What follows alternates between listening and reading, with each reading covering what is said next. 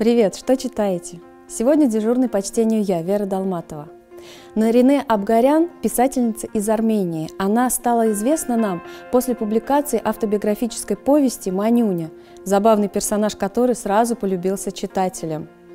А в романе «С неба упали три яблока» кстати, новинки книжного фонда Дворца книги, рассказана мудрая история о родственниках, о малой родине, о жителях гор.